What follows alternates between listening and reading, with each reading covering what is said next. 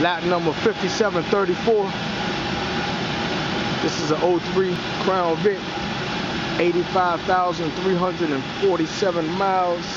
The vehicle starts. There's a flat tire in the front driver's side wheel. Vehicle moves in forward and reverse. This is an 03 Crown Vic.